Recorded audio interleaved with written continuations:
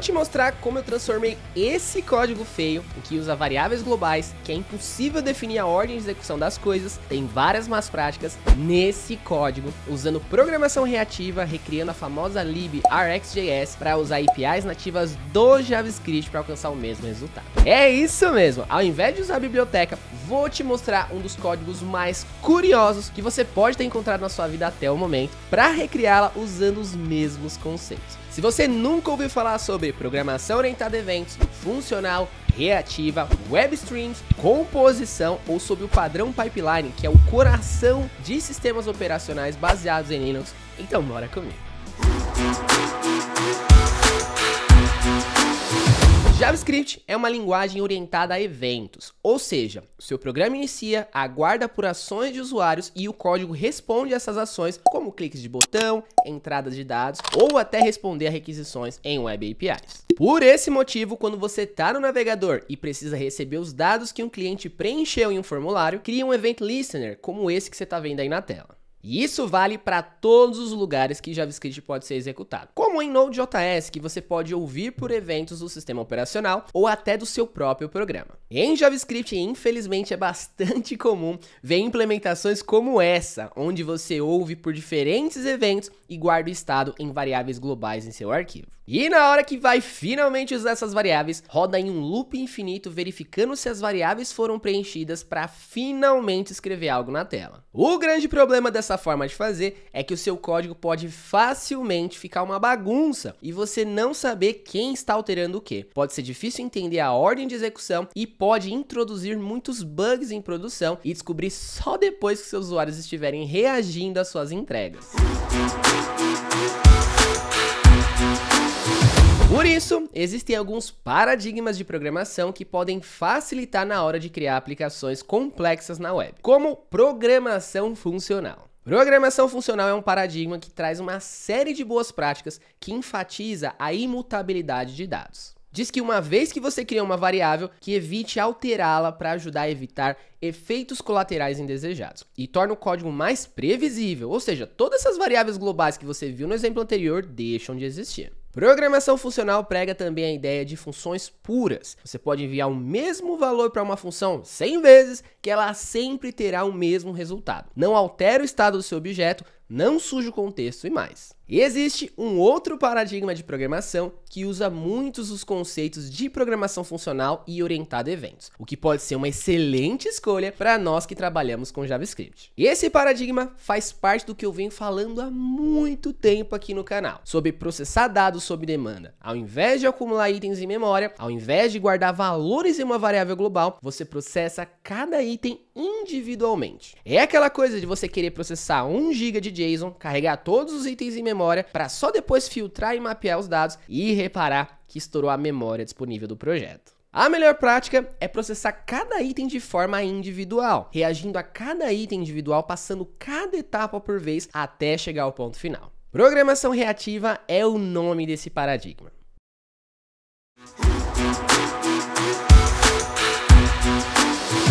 Você acompanha o canal um tempo, provavelmente me ouviu falar sobre como processar dados de forma massiva e escalável usando streams, o que pareceu algo bem similar ao que eu expliquei sobre programação reativa.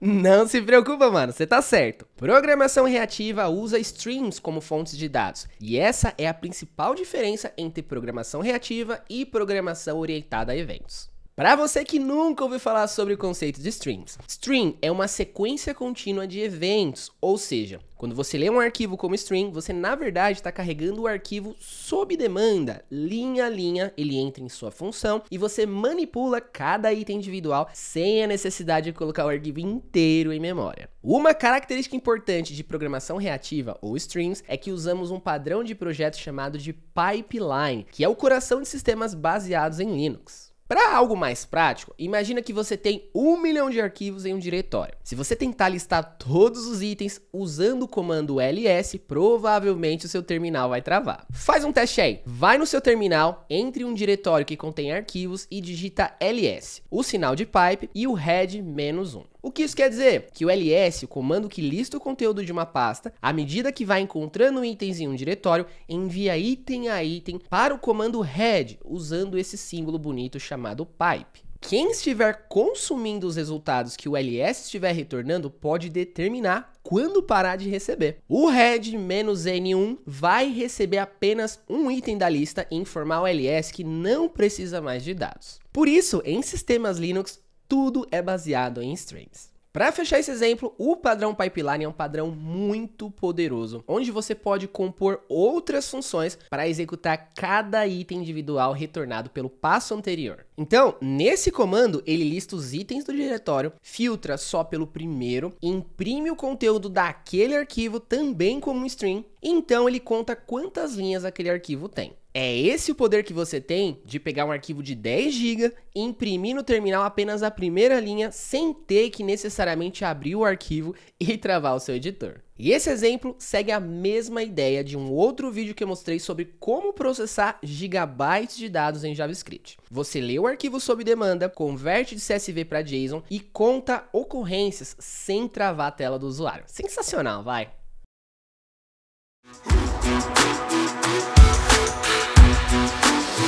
Em 2011, a Microsoft lançava essa, que é uma das maiores e mais importantes bibliotecas focadas em programação reativa, o Reactive Extensions, ou RX. Ela implementa o mesmo padrão usado nas strings, que permite lidar com sequências assíncronas de eventos e dados. Normalmente, no vocabulário do RX, você vai ouvir muito sobre o padrão Observer, que é um padrão que o RxJS e as strings são baseados. O lançamento foi um sucesso e o Rx foi implementado em várias linguagens de programação.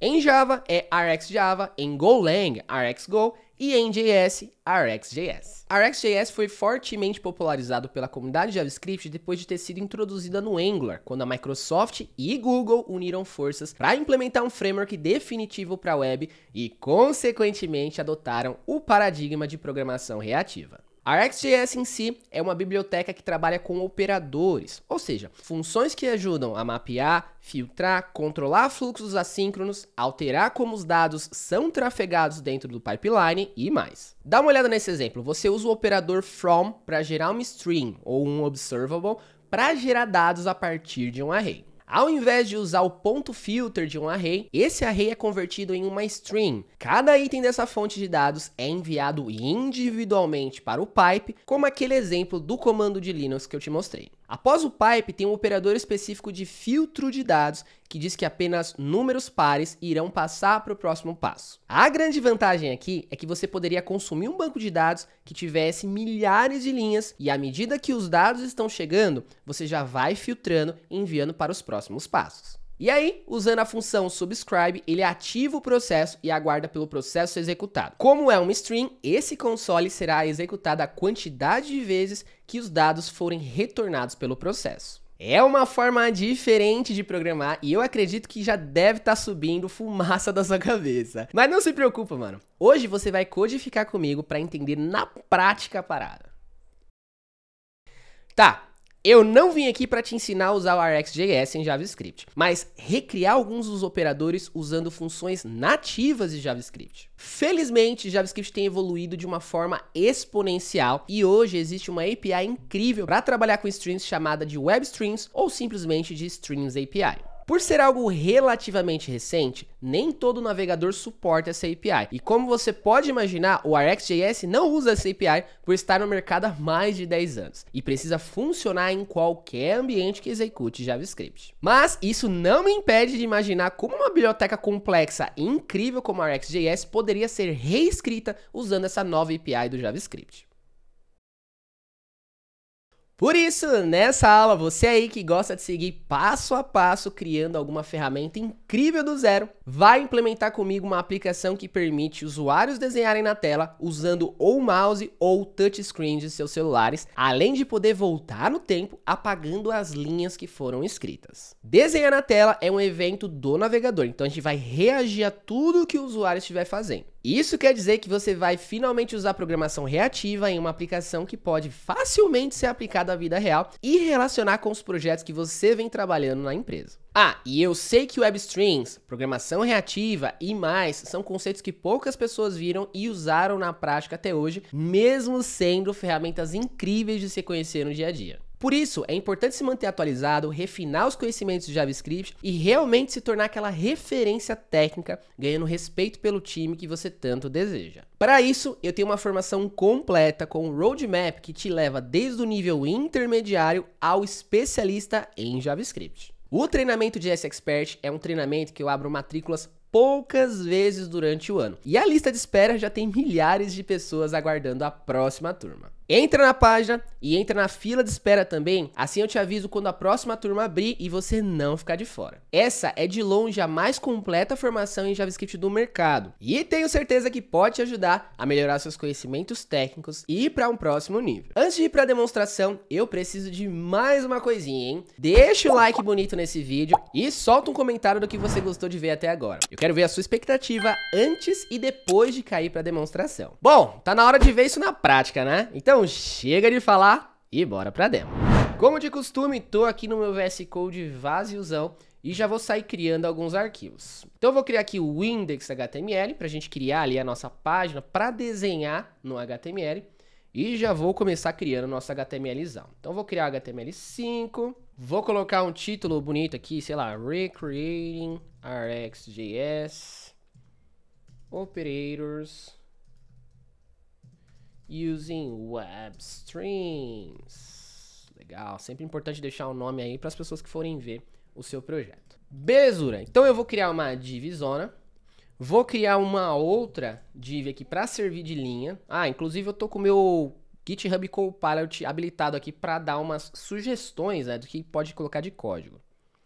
Então eu vou colocar duas aqui. Essa aqui eu vou colocar uma classe row, que daqui a pouco a gente divide e essa aqui também row, para a gente fazer duas linhas separadas.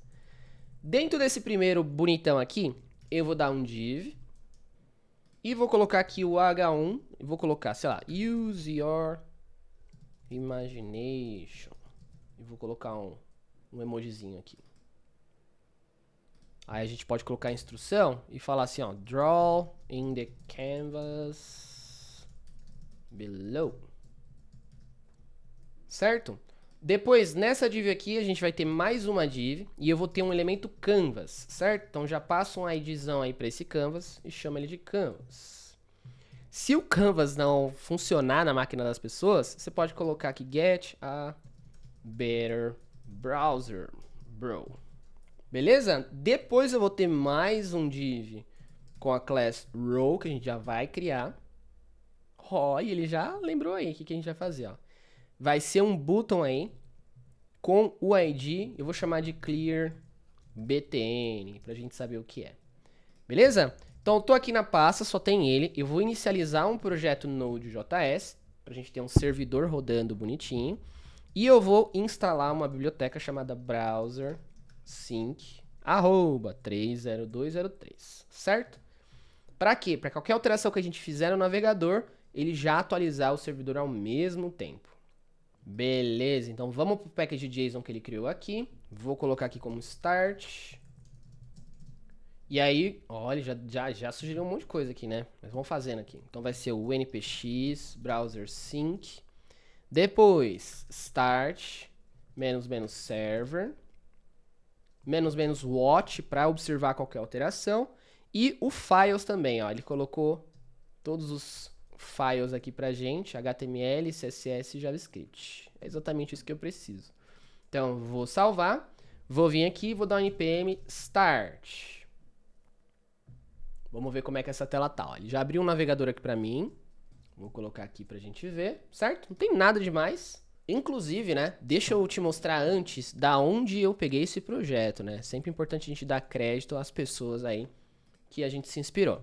Então, ó, nesse cara aqui, eu peguei, basicamente, aí o projeto de assinatura, certo? Que é o que eu te mostrei no início do vídeo. Então aqui ele está limpando a assinatura, mas é o que eu falei. Ele está usando aqui programação orientada a eventos, certo? Só que ó, o código está naquele que eu falei, ó, tá uma prática de ficar alterando valores ali de forma global E no final, ó, ele usa um super loop que fica atualizando o canvas o tempo inteiro, né? Então ele tem esse request animation frame aqui para ficar escrevendo na tela e um monte de, de outras más práticas. Então eu basicamente peguei a ideia do layout dele e quero transformar um pouco dessa funcionalidade e adaptar para o que a gente quer para construir o nosso projeto. Eu também dei uma olhada em um outro projeto que usa o RxJS. Então deixa eu ver se ele vai carregar. Então aqui, ó, o que, que ele está fazendo? É uma aplicação em Angular, certo? E aqui ele pode desenhar da mesma forma, só que aqui ele já está usando o RxJS. A gente não vai instalar o RxJS, a gente vai fazer isso do zero.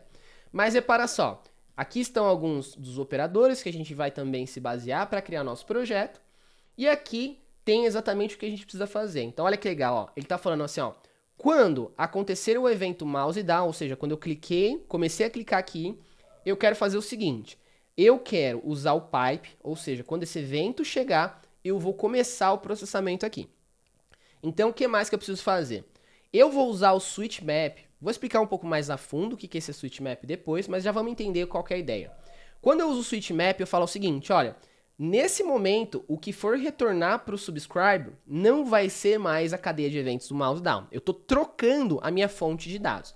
A minha fonte de dados agora vai ser quem? Vai ser o mouse move. Por quê? Porque para eu escrever eu preciso do movimento do mouse. O clique aqui é só para inicializar. Então, no momento que eu cliquei para inicializar, eu tenho que trocar o foco e falar assim, tá, eu já sei que você inicializou, agora eu quero os eventos do mouse. Beleza. O que mais que ele está fazendo aqui, ó? À medida que esses dados chegam, ele já usa o pipe aqui para mandar cada item individual ali para frente, certo? Beleza. Aí tem dois operadores aqui bem bacanas, ó. Ele fala o seguinte, ó eu vou pegar o mouse move até que alguém use ou o mouse up ou o mouse leave. O que isso quer dizer? No momento que eu soltei o botão do mouse, não é para escrever mais. É só para escrever enquanto eu segurar o botão do mouse. Beleza? Perfeito. Ou se eu sair, né? Ó, se eu sair daqui, ó, ele para de escrever também. Mas acho que se eu for para cá, olha lá. Ó. Beleza? Só para escrever dentro desse canvas. E ele tem aqui também o pairwise, que a gente também vai trabalhar. Então, o que, que ele quer fazer? O pairwise vai falar o seguinte, ó, eu quero o evento que veio de dentro do mouse down, então você guarda ele em algum lugar e você meio que concatena ele junto com os dados do mouse move. Por quê? Porque pra gente escrever aqui, ó, eu preciso da entrada, né? Então eu preciso do ponto inicial até onde ele vai. Então se você olhar o código que ele usou aqui, ó, ele falou assim, ó, a, o ponto anterior que ele estava e o ponto corrente. Então, é sempre assim, para a gente poder desenhar, eu preciso saber da onde é o ponto de um lado para o outro. Perfeito? Então, a gente vai basicamente fazer esses operadores do zero, usando a mesma ideia, mas não vamos usar Angular, não vai precisar de nenhum compilador, não precisa de TypeScript, precisa de nada, vai ser JavaScript puro na veia. E aí, vamos ver? Então, bora ver. Então, eu já vou fechar isso aqui. Tá na descrição também, qualquer coisa, se você quiser acessar esse código para poder ver, mas é sempre importante falar. Então, já tem aqui algumas coisas, né? Não tá bonito, mas, pô, o objetivo não é ficar sofrendo com o HTML, né? Porque o nosso objetivo é cair pro código. Então tá, package JSON pode fechar, o terminal pode fechar também, porque qualquer alteração que a gente fizer vai refletir no navegador. Tá, o que, que eu quero fazer? Bom, primeiro de tudo, eu vou criar aqui um style pra gente pelo menos formatar. Na verdade, eu vou desligar aqui, cara, o nosso Copilot, para ele não ficar dando spoiler do código que eu vou fazer. Então eu vou falar o seguinte, ó. Para todo mundo, para toda a página, eu quero um, um font family. Então eu vou trocar essa fonte, aí você pode escolher a que você quiser também, mas eu vou escolher essa monospace aqui, ó. Beleza? É importante ter o ponto e vírgula aqui para você ver. Então quando eu salvar, você já pode ver que todo o documento alterou a fonte, né? Beleza, vou colocar com U maiúsculo aqui, ó. Só para começar bonitinho. Aqui eu vou aumentar um pouquinho esse zoom para ficar mais fácil quando a gente estiver depurando essa aplicação. que mais? Bom, agora a gente precisa trabalhar também no row aqui. Mas ó, se a gente for reparar, se eu for dar um, um scroll pro lado, ó, ele fica mexendo, certo? Então eu quero desabilitar isso. Então eu vou aqui no nosso body e vou dar um overflow hidden. Vou até comentar aqui, né, cara? Desabilita o scroll. Então agora, se eu tentar dar um scroll pro lado, ele não funciona nada, nem para baixo. Por quê? Porque quando a gente estiver desenhando, ele pode se confundir entre mover a tela ou desenhar na tela. Beleza? que mais que a gente precisa fazer? Pô, vamos fazer mostrar o campo do canvas, né? Então, lá no campo do canvas, eu vou colocar uma bordinha. Vai ter dois pixels, vai ser aquela com pontinho, né? E eu vou colocar como cinza. Então, vamos ver lá. Olha lá, ó, já apareceu bonitinho lá a área do canvas. Ou seja, essa área que as pessoas vão desenhar, certo? O tamanho agora, nem importa. Daqui a pouco a gente vai mexer nele também. Beleza. Vou colocar uma bordinha também, pra ficar mais bonitinho, né, mano? Vou colocar uma bordinha de 15 pixels. Olha lá, uma bordinha arredondada. que mais? Vamos colocar um cursor também, pra ele colocar aquele de jogo, né? O crosshair. Então, ó, quando eu chegar o mouse em cima, a diferença do meu cursor antes e depois, né? Então, olha lá, mouse antes e depois estão bem diferentes. Belezura. que mais? Bom, vamos tentar trabalhar nessas classes do row aqui. Então, antes de tudo, eu vou colocar uma classe aqui chamada container.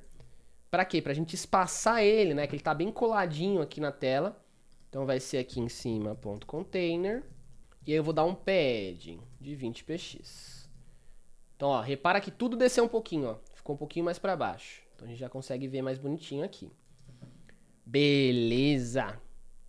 Agora, vamos fazer a nossa linha, né? Então, o row, a gente vai usar o display flex. Beleza? E aí, o que, que eu vou fazer? Eu vou fazer algo similar com o que a gente vê no Bootstrap, né? Dividir ele em 12 colunas para aumentar o tamanho dele aqui. Então, eu vou colocar aqui também... Vamos criar ela primeiro, né? Que foi inspirado do Bootstrap, né? Então, olha lá. Col... É só col, né? Que é coluna média 12. Então, vai ser o quê? Vai ser o flex Vai passar aí 0, 0, 100%. Então, se alterar, não mudou nada. Vamos colocar a próxima, que a gente já viu a diferença, né? E eu vou colocar aqui o max width em 100%. Então, coloquei aí. Para quê? Para quando a gente for alterar isso aqui via JavaScript, a gente ter o poder de aumentar ou diminuir esse cara. Se a gente quiser, a gente pode colocar aqui também, né, cara? Pode colocar um width, sei lá, de 800. Aí, ó, já, já ficou bem grandão, né? Mas eu quero fazer isso dinâmico. Deixa, deixa 100, ele vai iniciar usar pequenininho mesmo, e aí via JavaScript a gente altera ele. Beleza, de layout é isso, mano. Tem um botãozinho clear aqui, depois a gente vai pintar o que a gente tiver que pintar aqui no nosso projeto pra gente não perder tempo. Beleza. O que, que eu vou fazer agora? Vamos criar um arquivo aqui chamado index.js. E aqui eu já vou, pode ser depois do style, já vamos importar ele, né?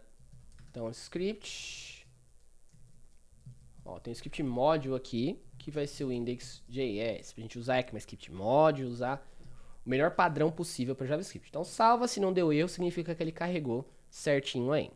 Tá, primeira coisa que a gente precisa fazer agora, vou até dividir aqui, ó, é fazer o quê? A gente precisa pegar esse elemento, né, que é o canvas. Então, ó, o ID dele tá como canvas. Então, const canvas é igual a document get element by ID e pega o canvas. Vamos pegar o botão também, ó, clear btn, a gente faz a mesma ideia, ó. Então coloca aí os dois com o nomezinho. Beleza? Só isso? Só isso por enquanto. Já para a gente não perder tempo, já vamos criar o context. Então vou chamar de context do canvas get context e passa aí de 2D. Para quê? Para que a gente use isso aqui para poder escrever na tela. Beleza, uma última coisa, cara. Vamos criar uma, uma função aqui chamada reset canvas e aí ela pode receber o tamanho ou a largura. Na verdade, é, é largura e tamanho, né? E eu vou falar o seguinte, eu vou pegar quem é o pai daquele elemento canvas, então canvas parent element, para poder aumentar o tamanho dele. Então canvas.width. Aí se alguém passar a, a propriedade, a gente usa ela, se não a gente seta do zero, né? Então vai ser parent client width.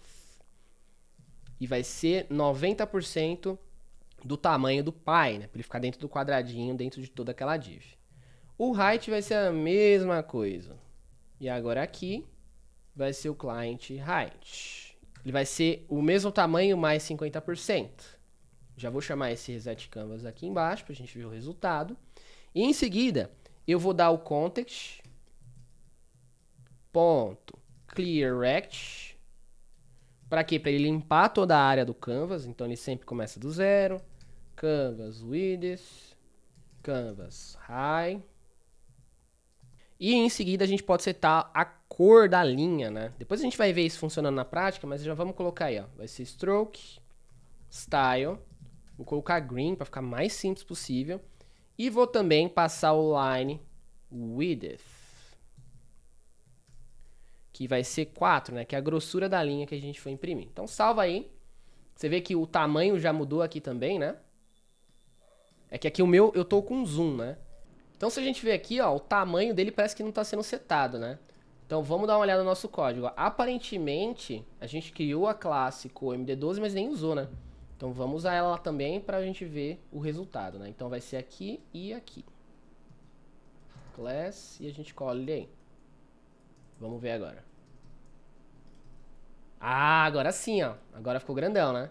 Ou seja, se eu puxar um zoomzão, vamos ver se eu atualizo, ele fica sempre do mesmo tamanho aí.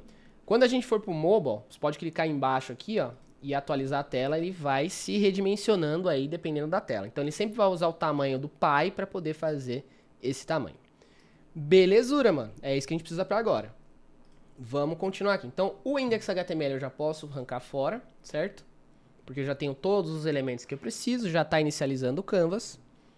E agora a gente precisa primeiro pegar o evento ali do clique, né? Quando baixou o botão ali no nosso elemento canvas, a gente usa ele. Então eu já vou criar um outro arquivo chamado operators. Então, o primeiro elemento que a gente vai usar aí vai ser o from event. Esse from event lá no RxJS, o que, que ele significa? Ele significa que a gente vai transformar os eventos do navegador, como document click, por exemplo, ou botão.click, em um elemento, em uma fonte de dados do RxJS. Ou seja, nesse elemento aqui, toda vez que rolar um clique, ele vai fazer o quê? Ele vai mandar para o pipe, ele vai usar o map. Então, nesse caso aqui, é como se fosse um, uma função mesmo. Então, vai falar o seguinte, para cada elemento, eu vou simplesmente imprimir o resultado dele. E aí você pode ver que o resultado dele, toda vez que ele clicou, foi o event time. Então, o primeiro operador que a gente vai recriar vai ser o from element aqui. Então, bora lá, mano. Eu vou criar um const from event e ele vai receber o target, né? Então, precisa ser o elemento HTML e o name. E eu já vou dar um export, um export no from event para aí a gente poder usar lá no index.js. Tá, uma boa prática, cara, é sempre a gente fazer os JS docs, né? Então vamos fazer isso, ó. Vou colocar aqui as aspas. O próprio VS Code já indica algumas coisas. Então, ó, o nosso event target vai ser o target. E o event name aqui vai ser o quê? Vai ser uma string. E o que ele precisa retornar? Bom, você ainda não sabe, né? Mas eu tô falando que a gente vai fazer tudo usando é, JavaScript strings, certo? Então eu vou colocar returns. E ele vai ser o quê? Vai ser uma readable string. Ou seja, readable string significa que é uma fonte de dados, beleza? Perfeito. Agora, se eu deixar o mouse em cima, ele já vai sabendo qual que é o tipo dos valores, né? Então fica bem legal. Event name string e o target é o event target que é os nossos elementos do HTML. Beleza, então eu já vou lá para o index.js e vou falar o seguinte, ó. From event, então vou, vou importar ele lá em cima, down.js. E vai ser aonde? Vai ser no canvas, né? Então, quando acontecer o quê? Quando acontecer o mouse down, eu quero transformar ele em uma fonte de dados, em um stream, certo? Quando a gente está trabalhando com streams, você pode ver aqui que ele tem uma API bem diferente. Então a gente usa o pipe through para poder mandar para outro step, né? Mandar, por exemplo, imagina que eu quero pegar esse clique e mapear os dados para só depois imprimir na tela. Então eu uso o pipe through ou eu uso o pipe to para encerrar o processo. Então eu vou falar o seguinte: vai ser o pipe to, obrigatoriamente ele precisa de um destino. E o destino em WebStreams são as writable strings. Então vamos ver como isso funciona. New writable string, aí ele recebe um write, ele recebe o que a gente chama de chunk. Então chunk é o pedaço daquele dado. E eu vou dar um console.log nesse chunk só para você ver se funcionou ou não. Certo? Então eu vou dar o Ctrl S. Se a gente ver lá no nosso terminal, vou até deixar ele normal. Aqui vai dar um erro porque ele falou assim, ó, cara, eu não consigo ler o pipe2. Por quê? Porque a gente ainda não implementou a nossa função. Vamos implementar lá que isso aqui vai ficar bem legal. Vamos lá, no from event, eu preciso do quê? Eu preciso de uma readable string, certo? Então eu já vou dar um, um return new readable string e ele recebe alguns parâmetros. Então ele pode receber o start. Essa função restart é quando a gente está inicializando a nossa base de dados. Então é ela que a gente vai usar. Então vou ter o controller. E ele tem o cancel também. Lembra da coisa que eu falei para você do terminal? O LS estava mandando dados ali para outra etapa, certo? E aquela outra etapa poderia falar que não quer mais receber dados. Então, quando alguém falar para a gente que não quer mais receber os dados, a gente pode falar o que quer fazer. Perfeito. Então, eu vou falar o seguinte, cara. Eu vou guardar, na verdade, em uma variável aqui, que vai ser o listener. Já te explico por quê. Então, o listener vai ser basicamente uma função que vai receber o evento lá do botão, ou o evento do HTML que seja, e vai usar esse controller para passar esse dado para frente. Então, o inQueue é só passe ele para frente. Beleza? E é o que eu quero fazer. Como a gente já está trabalhando no HTML normal, cara, a gente vai usar lá o target, .add, event listener, e aí em qual evento? Ó, o evento que foi passado pela função, e ele precisa de uma função de callback, né, que vai ser o nosso listener. Perfeito? É isso aí. Tá, por que, que você guardou numa variável aqui e não só criou ele aqui? Porque na hora que a gente for usar o cancel, a gente precisa remover esse evento, certo? A gente não quer que esse evento continue sendo ouvido depois que alguém mandou parar de ouvir da fonte. Então, a gente já faz o processo contrário. A gente usa o target, remove event listener, mesma coisa, event name, e passa o listener. Só isso. Só isso, mano. Vamos ver se funciona. Vou salvar, vou pro navegador, não tem erro aqui. Quando eu clicar é pra gente ver algum log, ó. Cliquei, a lá que ligar, ó. Bem bacana, né? Então, nesse momento, ó, tudo já está funcionando como uma string. Então, a gente transformou esse clique do botão em uma fonte de dados. Agora, cada item, cada clique que a gente vai recebendo aqui vai passar por dentro dessa fonte de dados. Beleza, já temos o from event, então a gente só leu ele aqui e tudo que a gente está recebendo a gente vai mandar para uma writable string, para receber cada resposta individual e printar na tela. Esse writable string você poderia usar para salvar no arquivo, para renderizar a tela, para chamar uma outra web API e assim por diante. Então ele é sempre usado esse pipe2 e esse writable string para o final, para a saída. Beleza, eu quero te mostrar mais um operador para a gente criar hoje. Então, ó, vou abrir aqui no RxJS de novo. E olha lá, ó, ele tem esse intervalo, certo? Que é o mesmo set intervalo que a gente já conhecia. Só que o set intervalo aqui é como, como string, né, cara? Como observable. Então, vamos implementar esse cara aqui para a gente ver o quão simples é e depois a gente vai avançando. Então aqui, mesma ideia. Const interval. A gente precisa receber os milissegundos, né? E precisa retornar esse valor para frente. Então, se você quiser copiar aqui o nosso JSDocs, vai ser bem parecido. Então ele vai receber aqui o ms, certo? Então o ms, que é um number.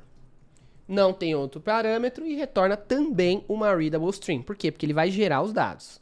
Tá, então a gente vai receber o number aqui e ele retornaria talvez uma readable string. Então bora lá, mesma coisa, importa ele, o interval. Lá no nosso index agora, ao, invés de usar o event, eu vou usar o interval, que a gente acabou de usar ali. E aí, sei lá, vai ser a cada 200 milissegundos, ele vai imprimir provavelmente undefined aqui, ou a gente escolhe o que, ele vai imprimir. Certo? Então, é uma readable string, é uma fonte de dados, por isso que eu comentei o from event. Então vamos lá. Interval, mesma coisa, return, readable. Aí eu vou usar o evento start, certo? Por que o start? Porque ele vai inicializar esse objeto e já vai começar a enviar dados. Explico depois quais são os outros tipos também.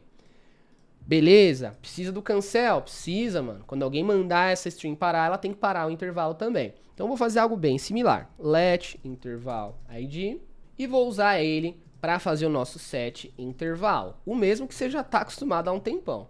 Então ele precisa receber aqui o nosso MS, né, para saber de quanto e quanto tempo ele precisa rodar. E aí ele precisa começar a prover dados. Então como ele provém dados? Usando o controller.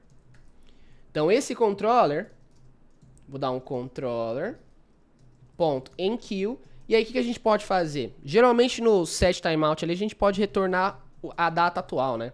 Qual que é o tempo que está ali atual. E para cancelar, a gente dá um clear interval no interval ID. Beleza? Então no start a gente começa a sediar os dados, começa a mandar os dados para quem quiser ouvir, né, criar a fonte de dados, e no cancel é como a gente faz ele parar, como a gente para, porque senão ele vai ficar criando, criando e criando. Salvei, vamos voltar para o HTML. E ó, olha lá, ó, nosso intervalo já está funcionando. Então, ó, o date now já está funcionando perfeitamente. Legal? Então já temos o intervalo e já temos também o from element. O intervalo eu criei mais para você entender como funciona ele, mas a gente no fim a gente não vai precisar usar ele. Então, pode matar ele daí. Vou deixar só o from event. Salva aí, garante que ele está funcionando. Então, ó, quando clica no elemento, ó, se eu clicar fora não vai funcionar, só para funcionar dentro do canvas, ó. Com as coordenadas do nosso objeto. Belezura, mano, belezura. Agora, o que a gente pode fazer? Vamos pegar mais um operador para a gente copiar e colar, né, mano? Eu vou usar agora o operador map. O map é basicamente uma função de callback que vai manipular cada item. Então se liga só, tá retornando de 1 a 5 aqui, certo? E ele tá somando. Cada item que chegar aqui, ele vai somar mais 10. Então, ó, 1 mais 10 dá 11. 2 mais 10 dá 12 e assim por diante. Beleza? Então a gente vai iterar em cada valor, só que é, é, como a gente substitui o for ou for each, por exemplo, usando programação reativa, né? O for, for each, while são de programação imperativa, beleza? É um outro paradigma. Então, para a gente usar o for each que a gente quer, a gente usa essa função. Beleza? Vamos lá então. Vai ficar bem fácil agora. O map, como é transformação de dados, ou seja, alguém passou o valor anterior para mim, eu preciso manipular ele e mandar ele para frente, a gente vai usar um outro tipo de string. Vamos já criar aqui nosso... Calma aí, vamos criar o JSDocs depois de criar a assinatura da função. Então vai ser um map. E o map, ele só pede uma função, certo? Então é só uma função aí que ele vai retornar. Vou dar uns enters aqui e já vamos colocar o comentário. Então, o fn vai ser o quê? Vai ser um function. E ele vai retornar o quê? Uma transform string. Por que transform? Transformação. Lembra? Readable, fonte de dados. Estou lendo, read. Transform, transformação de dados, é o intermediário. E o write é quando eu preciso escrever, finalizar o processo. Perfeito? Então tá, mesma ideia. Vamos já passar esse map lá para frente. E agora, eu vou usar um diferente, eu vou usar o pipe through. Lembra que eu falei? Quando a gente precisa de processamento, quando a gente precisa transformar dados, a gente usa o pipe through. Então vai ser o quê? Vai ser no nosso map. Vamos importar ele aqui. E eu vou colocar, sei lá, e... Então a gente usa ele para mapear dados. Então vamos supor um negócio. Vamos supor que o e ali, ele vai voltar como um objeto, certo? Eu vou fazer o seguinte, eu vou retornar ele como stringify. Então, vou colocar null e 2 aqui para ele ficar formatadinho. Vamos ver como que esse resultado vai sair no nosso terminal. Uh, ele falou que não criou o pipe true, significa que você não criou nada ainda. Ou seja, a gente vai usar esse cara para mapear os dados e retornar a saída final. Então, vamos implementar ele. Como eu falei, é uma transform string. Então, a gente já dá um return new, transform string. E agora, o transform string, uma informação legal é que ele é tanto uma readable quanto uma writable, certo? Então ele tem dois objetos aqui. Ele tem o start e ele tem o transform. O start é no momento que a gente inicializa esse objeto. O transform é à medida que ele está recebendo os dados, perfeito? Então eu quero receber os dados. Eu vou receber o chunk e eu sempre recebo o controller para mandar esse valor para frente, beleza? Olha que difícil. A gente vai dar um controller em queue, a gente chama o function passando o nosso chunk. Só isso, só isso. Vamos ver se funciona, ó. Vou salvar, vou clicar na tela. Olha lá, ó, que legal. Ele já retornou stringificado, né? Que é a alteração que a gente fez. Se eu voltar aqui, sei lá, mano, e dar um, um return, sei lá... Acho que ele retorna um client... Ele retorna um client.x. Opa, client x só. Vamos ver se ele retorna, ó. Só o eixo x. Olha lá, ó, se eu for mudando o eixo, ó, ele vai retornando ele. Então, dessa forma que a gente faz o nosso mapeamento. Belezura? Por que, que eu estou fazendo isso, né? O mouse down significa que é nosso mouse, certo? Mas se a gente for reparar, cara, o objeto que retorna quando a gente está no touch é diferente. Então eu vou colocar aqui no lugar de mouse down, vou colocar um touch start.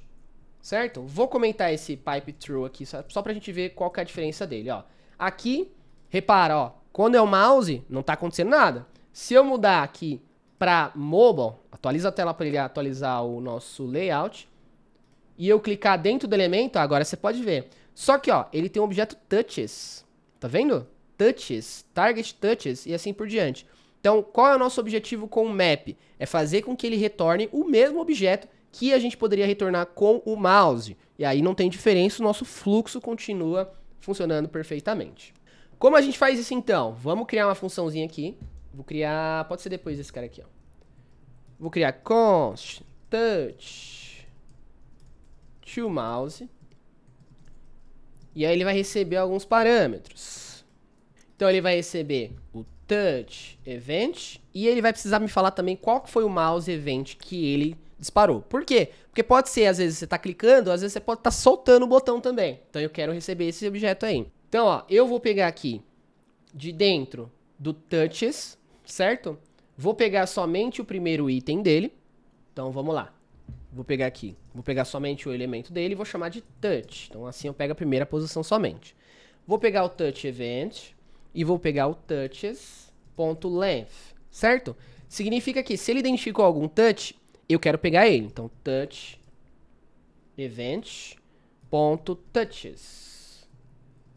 Se não, eu vou pegar do quê? Eu vou pegar o change touches. Olha que legal, ó. ele tem aqui, ó, change touches.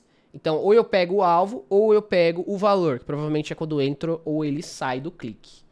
Então, vai ser aqui, vai ser changed touches. E aqui é o tracinho. E aí eu faço o quê? Eu disparo um novo objeto com o mouse event, certo? Então vai ser o nome daquele evento do mouse, só que a gente está meio que hackeando o navegador para ele achar que foi um evento disparado, mas a gente não está disparando o evento, a gente só está criando o objeto que ele usa quando ele dispara um evento. Então vai ser o client x, que vai ser o quê? O touch.clientx. E o y vai ser a mesma coisa, só muda o final. Para quê? Para a gente saber aonde a gente tem que desenhar na tela.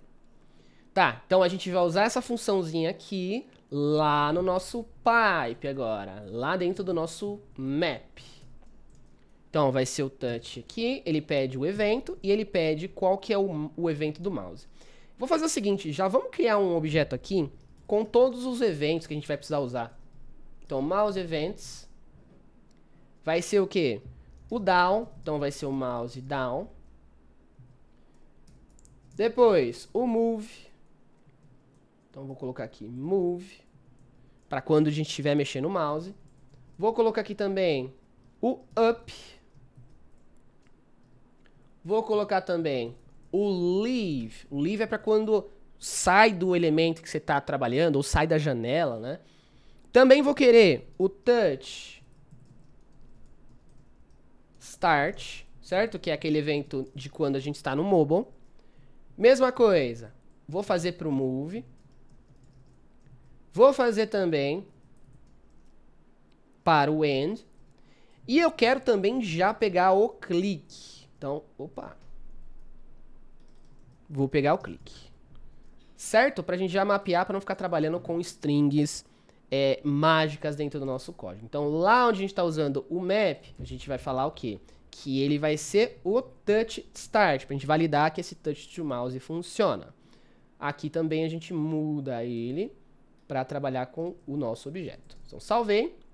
Quando eu clico, ó, olha lá que legal, ó, eu cliquei, foi um evento do touch, mas ele acha que foi um evento do que? Lá do mouse. Repara que tem o screen X, o Y também, que a gente não populou, a gente só populou o client X e o Y, porque é o único que a gente vai precisar usar para essa demonstração. Se eu voltar para a tela de navegador e clicar, você repara que nada acontece. Então a gente precisa arrumar um jeito de ouvir tanto o touch start quanto o mouse down. Antes da gente já cair para esse Antes da gente tentar ouvir os dois, acho que já é legal a gente começar a pintar, né, a tela para poder ver se funcionou legal. Então aqui no nosso pipe 2, eu vou chamar esse chunk de mouse down, certo? Que é o objeto que a gente está recebendo ali. E eu vou criar um outro objeto para a gente mapear aonde a gente vai pintar esse objeto. Então vamos criar aqui mais uma funçãozinha chamada const get mouse position. E a gente vai receber o canvas e também qual que foi o evento, né? Que é o mouse event. Esse mouse event aqui precisa necessariamente ser um desses para a gente saber o que a gente vai fazer. Na verdade, vai ser o canvas e o event value, né? Que a gente precisa saber do valor que retornou daquele evento. Então, beleza. Eu preciso saber do que, cara? Eu preciso saber primeiro o retângulo, aonde ele está relacionado. Então, vai ser o canvas. Eu vou, eu vou chamar de canvas DOM, só para ele não, não confundir com aquele canvas que a gente já tinha criado lá em cima. E eu vou tentar pegar o get bounding rect, certo? Para quê? Para a gente pegar o retângulo que ele está direcionado e a gente tentar pegar qual que é a coordenada x e y que ele está. Então, vou dar um return x vai ser o quê?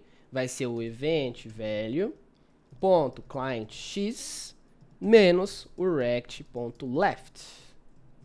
Mesma coisa para o y. Então muda o y aqui, muda o y aqui e vai ser o top. Por quê? Porque o x corresponde ao lado esquerdo, né? E o y é do, de cima para baixo, né? Que é dentro do nosso top. Vamos ver se funciona. Se não funcionar, a gente altera. Vamos ver. Então eu vou colocar aqui, ó. Position que, que a gente precisa? A gente precisa do mouse down. A gente precisa passar, na verdade, o canvas, né? E o evento aqui, que é o evento mouse down. Vamos ver, então, o que, que ele retornou. Então, position aqui, escrevi tudo errado. Position. E vou salvar. Vamos ver. Aqui não vai funcionar nada, né? Tem que ser no ambiente do mobile nesse caso. E vou clicar aqui. Opa! Bounding rect não é uma função. Vamos ver se eu escrevi errado. É, é get bounding client rect. Nomezão, né? Então, ó, cliquei. Aí sim, hein, ó. Se eu trocar, ó, as direções onde eu tô clicando, você pode ver que eles estão lá. Então é aí que a gente vai começar a pintar, né? É aí que a gente sabe que é o nosso ponto de início para pintar o nosso objeto. Já vamos pintar, né? Já vamos ver isso aqui pra gente avançando. Então, ó, eu vou usar o CTX, que é o objeto lá do canvas que a gente criou lá em cima, lembra? Ó, CTX. Eu vou usar ele para pintar na tela. Então vai ser o quê? Vai ser o move to. Então eu vou passar 0, 0. E vou criar também um line to. Então o line to vai pegar aquela position.x, position.y. Escrevi o nome errado. Certo? Então ele vai falar o quê? Eu vou começar eu vou começar a desenhar do ponto zero, né? Então ponto x é zero, ponto y é zero, e eu vou de lá até essas coordenadas que alguém está clicando na tela. Beleza? Por quê? Porque depois a gente vai precisar desses pontos de entrada para poder saber o movimento. Vamos fazer isso aqui mais como um debug. Depois a gente usa o CTSX Stroke para poder realmente ver ele na tela. E aí, será que funciona de primeira isso aqui, mano? Deixa eu até baixar isso aqui um pouquinho, ó. E vou fazer, ó. Olha lá, que legal, ó. Então, ó, ele vai sempre do ponto zero, né? Então aqui, ó, o ponto zero do nosso canvas, 0x, 0y, até onde eu cliquei, ó. Até onde eu cliquei, tá funcionando, beleza. Só que a gente quer movimentar, né? A gente quer desenhar isso aqui. Mas é exatamente esse comportamento que a gente quer. E você pode reparar, né? A gente não tá salvando nada em memória. A gente está sendo reativo. À medida que alguém clicou, eu já tô mandando esse dado pro Canva, já tô mapeando e imprimindo na tela. Vamos agora implementar aquele que eu falei que a gente precisa ouvir os dois eventos ao mesmo tempo, certo? Quem retornar primeiro, a gente já manda o valor para frente. No RxJS, esse operador é o race, né? Então é exatamente o que a gente precisa fazer. Quem retornou o valor primeiro, cai fora, né? Já vai executando e assim por diante. Então aqui, ó, tem um, um intervalo que ele fez que demora um segundo, dois, e esse aqui demorou menos tempo. Então daí para frente ele já mandou o valor. Então vamos criar esse cara. Vamos lá para operators. E eu vou chamar ele de race. Então o race, ele é um pouco diferente, né, cara? O que, que o race vai precisar receber? Ele vai precisar receber o array de eventos, né? Então o array de eventos a gente vai chamar ele de streams. Opa, já vamos colocar o JSDocs dele pra gente poder ver lá. Então, o streams, o que que é, cara? O streams tem que ser uma readable stream, certo? Porque tem que ser uma fonte de dados.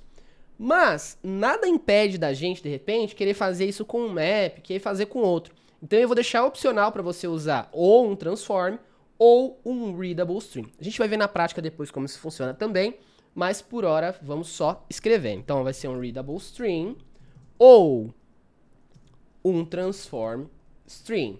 Na verdade, eu vou ter que criar esse cara aqui como um type def, porque a gente vai precisar de um array desse cara, né? Então vou chamar ele de string, assim. E eu vou colocar o parâmetro agora, que vai ser o nosso strings ali, que vai ser esse, esse objeto que a gente acabou de definir, que pode ser ou um ou outro, e vou chamar ele de strings. E aí, obrigatoriamente, ele precisa retornar o quê? Ele precisa retornar uma readable string, certo? Perfeito. Por que uma readable string? Porque ele não vai manipular valor nenhum. Ele só vai pegar a fonte de dados nova, quem retornou aquele dado, e passar para frente. Então, já exporta ele, certo? Já chama ele de race lá. E agora, a gente já importa ele aqui, ó. Então, eu vou colocar race, vou dar um tab. Agora lá, ó, ele recebe um array de strings, certo? Então, ele vai ser o quê? Vai ser tanto o touch start, quanto quem? Quanto o mouse down. Acho que é down, né, que a gente colocou lá. E aí, ó, o processo continua o mesmo, olha que bacana. Só que o touch to mouse, ele só faz sentido pro touch start, certo? Então eu vou mover este cara aqui. Olha que legal como isso vai funcionando, né? Então olha o que ele tá falando, ele vai falar assim, ó. No momento que o down retornou o valor, a gente não precisa alterar o valor dele nenhum, porque o pipe2 já está esperando a coordenada que seja do mouse. Mas, se for um evento de touch, aí eu tenho que fazer o um mapeamento dele primeiro e voltar para o Pipe2 para ele poder executar, entendeu? Então, o Pipe2 aqui, a gente não precisa colocar para o down, cara, só coloca para o necessário e vai basicamente ali aninhando as funções. Vamos implementar esse race então. O race é um pouquinho mais complicado, mas é bacana também. Então, ele vai retornar obrigatoriamente uma readable stream, que ele precisa de uma fonte de dados, vai usar o start, vai precisar do controller, igual a gente tinha feito antes. Então eu vou precisar aqui navegar nele, então const string of strings. E aí eu vou falar o seguinte, cara. Eu vou pegar o reader, certo? O reader é o quê? É o leitor de dados da string. Só que eu tô falando o seguinte, esse string pode ser tanto readable quanto um transform, certo? Então, eu posso vir aqui, então, ó, se ele tiver o objeto readable, significa que ele é um transform, porque ele tem tanto readable quanto writable. Lembra que eu falei que o transform tem os dois? Então o que, a gente vai fazer? Se ele tiver um readable, significa que ele é um transform string. Então a gente tem que entrar no subobjeto que é readable. Se não, a gente sabe que ele é a fonte de dados já, ele já é um readable, então eu pego só ele. Por quê? Porque dessa forma eu tenho o objeto getReader, tá vendo? Ó, esse getReader, que precisa ser depois do parênteses aqui, é o que a gente vai usar para poder ler os dados. Então, nesse momento, eu não estou carregando nada em memória. Estou falando assim, ó, me dá o ponteiro para eu poder olhar esses objetos e carregar eles. Beleza? Só que qual que é o ponto aqui, cara? Eu não posso colocar um await aqui, senão ele vai travar todo o meu processo. Eu já vou mostrar isso na prática para você ver. Vamos, vamos fazendo e aí eu já te mostro como que vai funcionar. Então, ó, eu vou colocar um async aqui para você ver como isso vai funcionar. E vou colocar aqui, ó. É... Vou colocar... Já, já vamos fazendo, né? Const. Aí a gente pega o await reader. O reader aqui, ele retorna o objeto read, certo? Que é basicamente ali o objeto daquela linha. Então ele lê uma porção de dados e joga dentro desse valor. Por quê? Porque a gente tem que chamar esse cara recursivamente. Então, para chamar recursivamente, eu vou chamar ele de async function read. Vou encapsular tudo isso aqui aqui dentro. Por quê? Porque a gente vai ter que chamar ele recursivamente. Já vou te mostrar. Ele retorna um value e um done. Se o done tiver true, eu paro o processo. Se não, eu dou um controller ponto enqueue, porque um dos objetos retornou valor que significa que esse value. E aí, em seguida, eu já dou o read. Por quê? Porque ele pode continuar retornando dados, né? Então, eu vou chamando esse cara é, é, de forma... Eu vou chamando esse cara de forma recursiva até eu conseguir ler todos os dados. Beleza? Então, eu vou chamar esse read aqui e a gente já pode ver o resultado dele. Então, vou salvar. Então, vamos atualizar, vamos ver, ó. Cliquei aqui, ó, aparentemente não deu problema. Então vou fazer o seguinte, eu vou deixar dessa forma e se der algum problema eu volto corrigindo, beleza? Ah, então no lugar do read aqui, ó, só dá um return, porque o start já é async, né? Então ele sabe como resolver esse valor. O que, que ele tá fazendo aqui então, ó? A gente tá olhando para cada uma das streams, ou seja, o Race tá mandando uma stream aqui pra gente, e eu tô fazendo o quê? Eu tô iterando em cima dela e tentando ler o valor de cada uma. Então, ó, se a primeira retornou algum valor, eu já vou mandar esse valor para frente, ou seja, ela já vai lá pro pipe to, ou ela já vai pro pipe through aqui e vai para frente. E aí eu chamo ele de novo para ver, até que ela falou assim, olha, já terminaram os dados, porque imagina que em outras situações você está recebendo um valor de banco de dados e ele pode demorar mais tempo, então a gente já retorna aqui. Uma confusão que eu acho que deve ter aqui, ó, é que a gente está usando um nome chamado race. Eu acho que o melhor nome aqui não é race. Por quê? Porque a gente está consumindo as duas streams. Ou seja, o race deveria consumir ou uma ou outra. Então eu vou nomear ela como combine, para a gente combinar várias streams em um único canal de comunicação que a gente está fazendo aqui. Ou seja, eu estou lendo todas elas e entregando esse valor para frente. E lá embaixo eu mudo ele para combine. Então aqui eu mudo. Aonde ele está race aqui, ó, eu mudo para combine. Beleza? Por quê? Porque a gente está combinando dois eventos. Claro que esses dois eles não vão executar ao mesmo tempo, mas poderia executar ao mesmo tempo, né? A gente poderia receber, ó, mas certifica que tudo está funcionando e vamos para o próximo operador. Então aqui a gente já combinou esses dois valores, ou seja, a gente pode ver que a gente consegue escrever e pintar na tela usando tanto o clique do mouse quanto o touch do celular. Olha lá. Então o combine funcionou legal. Tanto um quanto o outro vai voltar essa informação e vai passar pelo pipe. Olha que incrível, né? A gente transformou os dois em uma única assinatura e ele continua no nosso fluxo de dados. Tá, chegou a hora então de ir para um operador mais legal, né, cara? Vamos imaginar o seguinte, ó. Eu tô aqui no meu event down, então quando eu cliquei o botão na tela, ele disparou, ele começou a ler os dados, certo? Mas o que eu quero passar pro Pipe2 aqui, o que eu quero desenhar, não é onde eu cliquei a primeira vez, mas sim aonde eu estou movendo, certo? Eu preciso saber dele, claro, para setar da onde ele vai inicializar, mas eu preciso ter uma forma de trocar o foco, certo? Eu preciso trocar a minha fonte de dados. A minha fonte de dados pode ser o mouse ou o touch agora. Agora a gente vai criar um operador que troca essa fonte de dados para o nosso movimento do teclado ou do touch. Vamos ver então como criar esse objeto. Ó, enquanto isso, antes da gente criar ele, eu estava dando uma olhada aqui. Na verdade, o nome do operador que transforma dois, duas strings em uma só chama merge, não combine. Então vamos trocar o nome lá? Só pra gente saber do que a gente está falando. Então, no lugar de combine, vai chamar de merge. Então, combine merge. Aqui combine. E aqui merge também. Beleza? Só certifica que está funcionando normal aí. Olha lá, tá funcionando normal. Beleza, então o merge tá okzão. Então, beleza, como eu falei pra você, agora a gente precisa trocar o foco, certo? A gente precisa falar aqui, beleza, o primeiro evento foi disparado pelo clique ou pelo touch, mas agora eu não quero saber. Eu quero receber os dados do mouse e é só isso. Então, a gente vai implementar esse switch map. Então, um exemplo aqui, por exemplo, ó, no momento que você clicou na tela, ele falou assim, beleza, manda esse dado para frente, mas você vai trocar o foco e falar assim, é o seguinte, os dados que o console log vai retornar, na verdade, são do intervalo. Perfeito? É isso. Bora para a prática então. Então vamos lá, mais um, tá ficando bonito isso aqui, hein? Para fazer o switch map, eu vou abrir até o exemplo que a gente tinha visto do TypeScript que eu mostrei lá no início, ó. Vamos dar uma olhada aqui, ó. O switch map, então, ó, ele estava usando mouse down, igual a gente está fazendo, e ele troca o alvo para o mouse move, certo? Só que repara uma coisa, tem uma chavinha aqui chamada pairwise. Eu não vou criar esse pairwise, eu vou criar uma propriedade para dentro do nosso switch para ficar mais fácil, acho que fica melhor de trabalhar assim. Mas vamos entender o que é esse pairwise aí também. Então o pairwise vai fazer o quê? Ele vai basicamente pegar o último valor e vai somar com os próximos, certo? Ele vai meio que juntar eles aqui. Então, o que, que a gente precisa fazer para o nosso? Olha lá o que ele fez, ó. Ele precisa pegar o mouse down, certo? Que é o primeiro evento.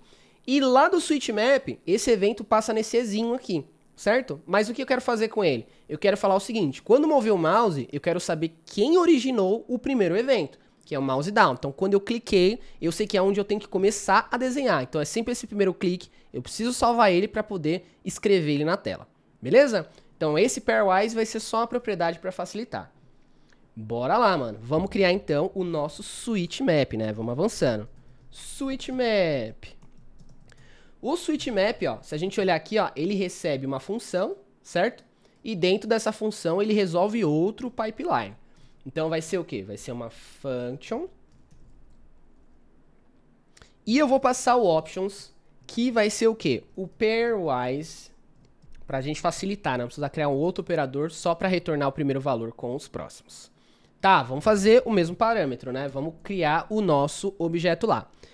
Tá, você pode ver aqui, ó, que ele dá um return nesse from event. Então a gente precisa falar que o fn que a gente vai passar aqui, ó, necessariamente precisa retornar aí uma writable ou uma, uma, uma readable string e assim por diante. Então o que, que a gente vai fazer? Vamos criar aqui primeiro um type def, certo?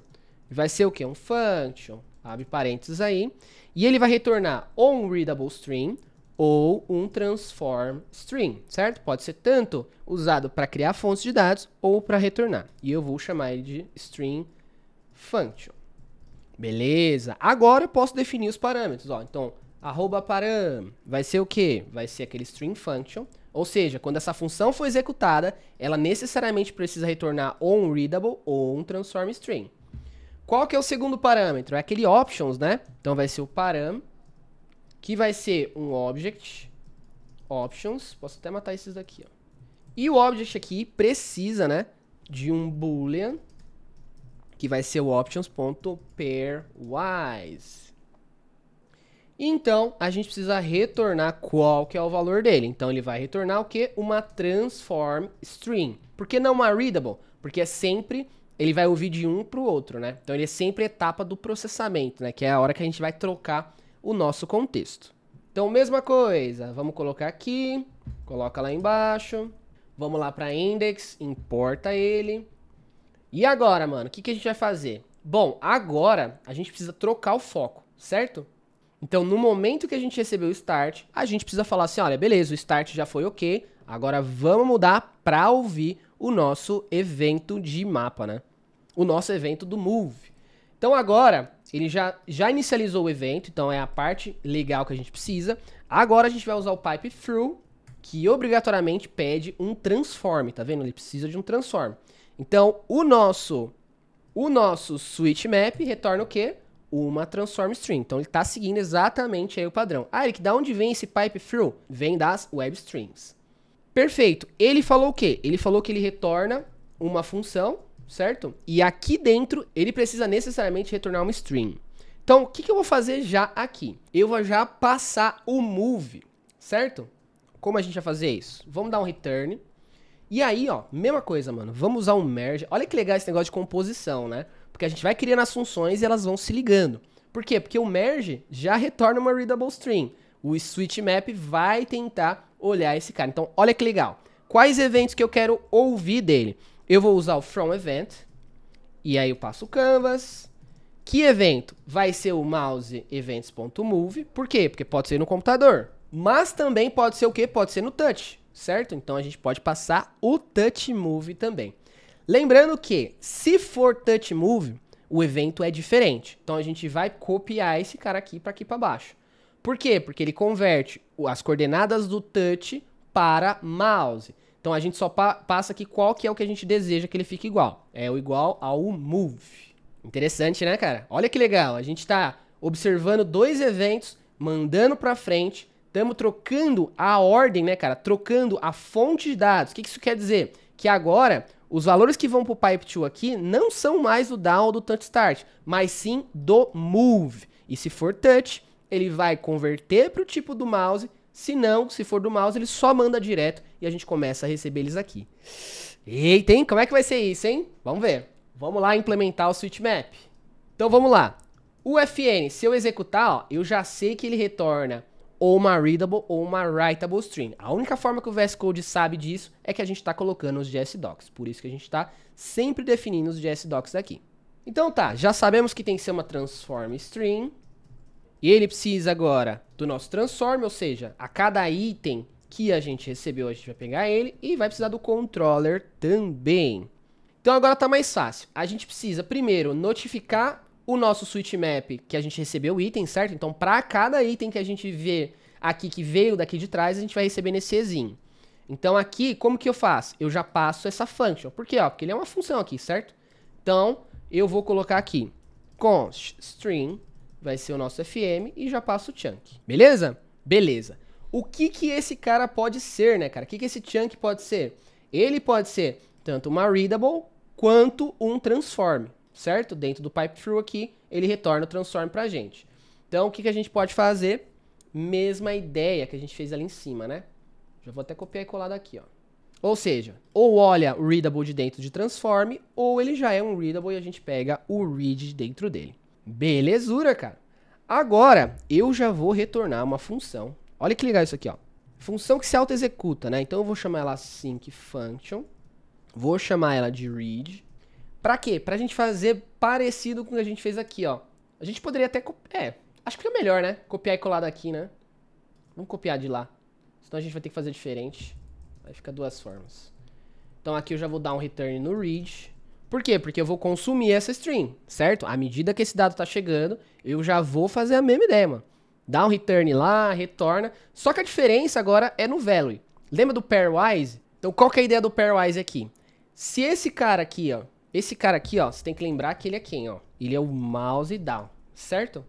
Aqui a gente já está consumindo o mouse move. Ou seja, eu tô mandando os dados lá que já chegaram do mouse down por aqui. E agora, nesse controller kill, eu tô mandando direto pro pipe 2 o resultado que veio do touch move aqui, ou do move. Só que o que, que eu quero fazer? Se o pairwise estiver ativo, eu vou mandar tanto o dado do mouse down quanto do mouse move. Então eu vou colocar aqui, ó, const result. Aí eu pego lá, options, ponto, pairwise. Se for para fazer o pair, a gente manda quem? A gente manda tanto o chunk, que é o valor do mouse down, ou o value. Se não, significa que não é para ter o pair. Se, se não é só para ter o value mesmo. Então eu mando só o value. E aí eu ignoro os valores anteriores. Depois eu só uso o enqueue, passo o result e é isso. E aí repara uma coisa, ó. Eu estou em loop infinito aqui, cara, ó. Chamei ele uma vez, ele chamou, leu o dado e recebeu o valor, manda para frente. Depois ele tenta de novo. Vai lá, até esse done for true. Quando o done for true, ele para a execução e não fica nada para trás. Será que isso vai funcionar, mano? Vamos ver. Vou salvar aqui. Vamos voltar para nossa aplicação que tá aqui. Ó, ele falou que faltou usar um new. Então aqui tá faltando usar um new. Salvei, vou voltar lá. E agora, tô movendo, não aconteceu nada, hein? Será que travou? Vou atualizar de novo. Olha lá, ó. aparentemente não tá acontecendo nada. Vamos dar um debug então, pra gente ver o que, que tá rolando. No index.js, o switchmap tá certo? Então, ó, se eu colocar um debugger aqui, será que a gente consegue ver aquele resultado do E aparecendo? Ó, sim. Aparentemente o mouse down tá passando pra frente, ó. Então, beleza. Pode dar um play lá, já sabemos que ele tá retornando. Beleza. Será que o move ou o touch move não estão sendo reconhecidos? Como a gente sabe disso, cara? A gente pode entrar no operador e parar ele aqui, ó, depois que ele retornou. Lembrando, esse done e esse value aqui só vão ser executados no momento que alguém mover o mouse na tela. Então, salvei. Ó, movi. Ah, tem que tirar o do outro lá. Pera aí. Salva e atualiza. Ah lá, movi, então o done tá false e o value veio o value certo, ó. Aparentemente ele só não tá passando esse dado para frente direito. Vamos dar um next aqui. Então, ó, o result é o quê? É o pairwise, ou seja, tá com o mouse down e também tá com o mouse move. Tá chamando o controller em kill, aparentemente tá certo. Vamos dar uma olhada nessa posição que ele veio, né? É, na verdade, cara, agora mudou a assinatura, né? Agora ele retorna um array aqui, ó. Se eu colocar um debugger, deixa eu tirar aquele debugger de lá de dentro. Então aqui a gente já sabe que tá certinho. Então, ó, movi agora, na verdade, não é mais o mouse down. Agora a gente tem a coordenada anterior e a próxima. Eita, será que a gente vai conseguir desenhar já? Vamos ver, vamos ver, vamos ver. Vamos lá. Agora, eu posso pegar isso aqui como uma coordenada, né? Na verdade, eu vou fazer esse mapeamento antes. Então, eu vou fazer aqui, ó, mais um pipe through. Vou usar o map. E agora eu vou usar o function. Já vou te mostrar por que, que eu vou usar o function. Então aqui eu posso arrancar esse debugger. Qual que é a ideia agora? Todos esses resultados que foram retornados, eu quero transformar ele nas coordenadas que a gente precisa para desenhar a linha linha na tela. Beleza? Então, Então, mapeamento de dados a gente não faz dentro do pipe2, a gente sempre usa o operador. Pô, o operador já está lá. Ele já sabe que ele vai manipular cada item individual, cada resposta individual. Então, o map retornou quem? Ele retornou o mouse down e quem mais? O mouse move. Então, põe um debugger aí para você ver, ó. Vou atualizar. Olha lá, ó. Chegou o mouse down, chegou o mouse move. Beleza? Lembrando, né? É um array, mas ele é um array por quê? Porque lá a gente está falando que é um pairwise e ele é um array, certo? Se você passar as options como false aqui, ele vai retornar somente o único valor. Inclusive a gente pode até testar, né, para validar se isso está funcionando. Então, ó, é no switch map, vou aqui, aí tem um pairwise false. Vou salvar, acho que agora, ó, posso até comentar aqui, vamos ver, que aí ele volta a funcionar. Olha ele já desenhando tudo, porque eu desativei o, power, o, o o pairwise, ó, e ele já tá funcionando, mas é porque a gente não tem um termo de parada para ele ligar. Mas, ó, ele tá sempre da coordenada zero. Legal, legal, legal, legal. Tá, vou tirar esse pairwise aqui. Se você quiser, só pra você lembrar que tá aí, deixa comentado. Mas por default ele é true. Então agora a gente mapeia esse valor para a gente poder pegar as coordenadas da onde a gente tem que alterar o valor. Então, eu coloquei esse function aqui que a gente vai cometer um pecado agora. A gente vai precisar criar uma variável que só vai existir dentro desse map, né, um estado, para a gente saber qual foi a última posição. Então eu vou usar o this underline last position. Então estou criando ele nesse momento. Então eu vou falar o seguinte, ó, ele vai receber o valor dele, ou seja, na segunda vez ele já vai ter valor, eu não quero mudar. Se ele tiver valor, eu quero usar ele. Se ele for null undefined ou zero, eu vou usar o mouse down como coordenada. Beleza? E aí, ó, vou até copiar ele aqui. E eu vou falar o seguinte, agora eu vou iterar entre esses itens para pegar a posição deles. Como assim? Olha a sacada que a gente pode fazer, ó. Vou criar aqui um from to, significa que vai retornar um array com dois elementos. E eu vou fazer um outro aqui para retornar esses valores. O nome disso aqui é pattern matching, né? Muito usado em outras linguagens de programação, mas vamos ver isso na prática que acho que fica mais fácil. Então, ó, a primeira posição vai ser o last position e o segundo vai ser o mouse move, certo? O que, que eu estou fazendo? Eu tenho um, um array com duas, duas posições, então a primeira posição aqui vai para a primeira posição aqui, a segunda aqui vai para a segunda aqui. Simples assim, beleza? O que, que eu quero fazer agora? Agora eu quero mapear esse objeto. Então vou pegar o item, e eu quero retornar a posição certinha para a gente alterar no canvas. Lembra que a gente já tem essa função? Então eu vou fazer, posso até fazer na mesma linha. Get mouse position em cima do canvas e do item. Com isso, a gente já sabe de onde a gente tem que ir e para onde a gente tem que ir com a linha, certo? Feito isso, a gente precisa atualizar essa posição falando que agora sim o mouse down deve ser esse cara. Beleza? Então, o last position vai ser o nosso mouse move. E aí retorna o from e o to. Como esse passo anterior alterou o passo aqui, a gente pode fazer o quê? Agora a gente tem o from e a gente tem o to. Então, na próxima iteração, o last position já sabe a última vez que você clicou para poder continuar ali os valores. Então, ó, no move to agora, agora ficou fácil, mano. A gente coloca o from x, o from y, o line to continua xy e o stroke continua a mesma coisa. Será que isso vai funcionar? Vamos ver. Então, ó, vou começar a desenhar, já dei um errinho ali. Ele não conseguiu encontrar o last position.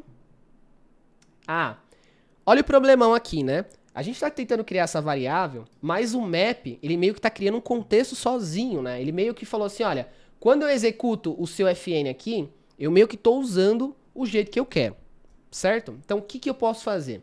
Olha que bacana, ó. Sempre que a gente estiver usando, a gente sempre dá um bind. Ó, fn bind. Aí a gente passa o fn e passa a função. Então a gente passa o bind aí do nosso fn. Na verdade, o, o bind recebe uma função e eu retorno ele assim. Por quê? Porque assim eu garanto que o this é sempre preservado, né? Não vai ter falha de Ds nas funções. Lembrando que agora eu estou alterando no, no switch map, né? Vamos só atualizar e vamos ver se ele...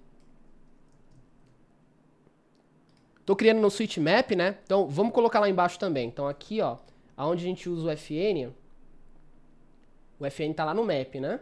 Então, o map está lá em cima. Tá vendo como eu estou executando ele? Então eu preciso falar qual que é o bind. Então o bind é a própria função. Certo? Porque ela tem o próprio contexto dela. E aí ela executa. Eu acho que no switch map isso não faz muito sentido. Mas vamos salvar, vamos ver se não vai dar nenhuma diferença. Então, ó, vou começar a mexer. Mouse down não foi encontrado. É porque aqui tem que ser o front to, né?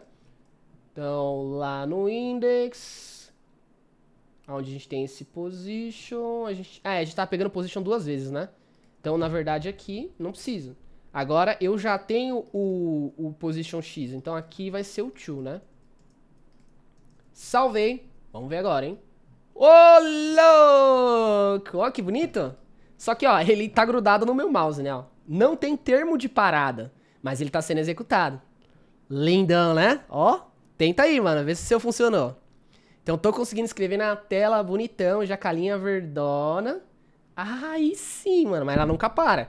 Agora a gente precisa falar qual é o operador que a gente vai usar para falar qual é o termo de parada. Nosso termo de parada é quando a gente solta o mouse. Quando soltar o mouse não é para desenhar mais. Tá, se ficou confuso essa parte, vamos só, só rever aqui rapidinho. Ó, no map, né, vamos lá no map. Toda vez que eu estou usando função, né, que eu estou no switch map, mas toda vez que eu estou usando uma função, é importante a gente falar qual é o contexto this dele, né? Para quando a gente estiver usando this alguma coisa dentro dele aqui, ele se manter.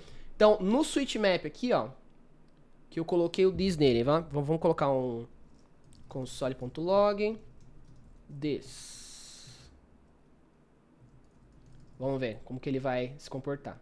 Deixa eu dar um console aqui. Ó, o this dele tá undefined. Por quê? Porque ele é uma arrow function, certo? Se eu vim aqui e dar um function ao invés de uma arrow function, olha lá, ó, o conceito, o, o, contexto dele muda, tá vendo? O contexto dele é preservado. Então é sempre importante a gente manter o bind lá para ele não se perder. Mesma coisa no map. No map, se eu tivesse usando uma arrow function aqui, o this dele ia ser undefined, certo? Mas como eu estou usando o function, ele pode ter o contexto dele. Só que na hora que a gente estava usando o map aqui, a gente não estava passando esse contexto. Então, ó, lá no map, Lá no map eu falei assim, não, cara, usa o mesmo contexto que a sua FN está usando. E aí é sucesso. Então garante que está tudo funcionando normal, ó, tem que ficar desenhando infinitamente aí. E agora a gente vai para o próximo operador. Agora chegamos ao último operador dessa aula, mano. Vamos dar uma olhada aí nesse operador bonitão, ó. O operador é o take until. Então qual que é a ideia? No nosso contexto, a gente quer que ele receba os dados do movimento do mouse ou do touch até que alguém solte a tecla, certo? Alguém que soltou o touch ali tem que parar. Então a gente vai construir ele, ó. Exatamente, ó. Os exemplos que eles vão fazendo. Então, ó, eu tenho a eu tenho a fonte de dados, que é um intervalo, e eu vou pegar até dar 5 segundos. Então, olha lá, ó, quando alcançou 5 segundos, ele simplesmente para e ele só imprime o que tiver ali. Então é sempre um termo de parada. Então já sabe o padrãozão, né? Vamos criar esse take until. Então, const take until, ele vai receber uma função. Na verdade, ele vai receber um string, né? Porque ele precisa saber aí quando ele tem que parar. Então, vamos criar já o JSDoczão. Então, essa string vai ser o quê? Vai ser uma readable string ou uma transform string, certo? Aí a gente dá mais flexibilidade para quem quiser usar esse cara aqui. Como a gente já sabe, ó, a gente já pode até pegar do exemplo a gente já pode pegar do exemplo aqui de cima. Só que olha a diferença. No take until, ele tem que ler somente uma vez esse item, certo? Porque tem que ser um string para a gente saber qual é o termo de parada baseado no evento. Então já vamos criar aí o nosso param. Então o param, vamos deixar ele ser tanto uma readable string ou uma transform string. Por quê? Porque a gente dá flexibilidade, né? A pessoa pode usar como quiser. Como que a gente sabe como consumir esse valor, né? A gente já tinha aqui em cima, ó tinha aqui o nosso reader. Eric, não poderia copiar essa função inteira? Não. Olha a diferença, ó. No take until, a gente precisa somente é, entender esse valor uma vez. Uma vez que esse evento disparou, a gente tem que parar ele. Então, a gente só vai ler o primeiro dado do reader e mandar para frente. Beleza? Beleza. Eu vou deixar é, comentado isso aqui, só para a gente seguir a prática que a gente está fazendo já de validar esses valores. Então agora o que, que eu quero falar? Eu quero falar que ele vai pegar os dados aqui do touch move, né, que o, o nosso switch map alterou esse valor, somente até onde? Somente até os eventos, somente até alguém soltar o botão ou soltar o touch. Certo? Então repara aonde eu vou colocar o próximo pipe through. Ele está dentro do switch map. Por quê? Isso corresponde a este contexto. Eu quero parar de ouvir o move baseado numa condição, mas ele vai continuar passando esses dados para o pipe through. Então vamos lá. Então, eu vou dar aqui um pipe through. Opa. E eu vou chamar o nosso take until. Então, o take until vai receber quem? Aí ele pode receber um outro pipeline, né? Eu vou colocar aqui, ó.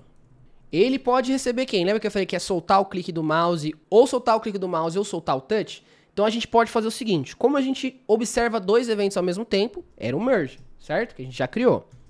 O merge recebe quem? Um array de eventos. Então eu vou pegar lá o from event, e aí vai ser a mesma coisa, canvas, mouse events, ponto up. Então o up é quando soltamos o botão do mouse. O leave, quando o mouse sai da área que a gente está observando. E o touch end. Bom, beleza. Se é touch, a gente já sabe que tem que fazer o quê? Tem que fazer o mesmo mapeamento. Tem que transformar touch em mouse. Até mover um pouquinho. Só que não é move. Ele tem que disparar quem? O evento do up. Então coloco o up aqui. Só deixar na mesma linha. Salva aí. Garante que vai dar erro no terminal, né? Porque ele não existe. Então take until ainda não existe. A gente tem que importar ele aqui. E agora é erro de pipe throw. Então é isso que a gente quer. Por quê? Porque a gente não implementou ele ainda. Então bora implementar o último operador, mano. Essa aula tá ficando top, mano. Então, mesma ideia, mano. Retorna aí.